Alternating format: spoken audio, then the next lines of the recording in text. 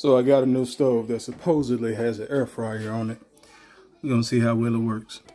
Peel your potatoes. Slice them up. Divvy them out on the tray. Into the oven. It says you don't have to preheat. All right. So we're gonna change this to air fry. 425. Let's take 30. We're gonna try start at 25 minutes. We'll see how that goes. Send it to the oven. The moment of truth. Let's see what happened.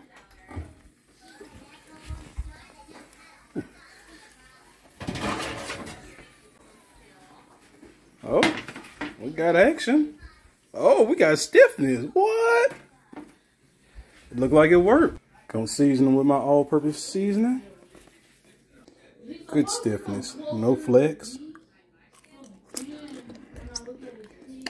It works.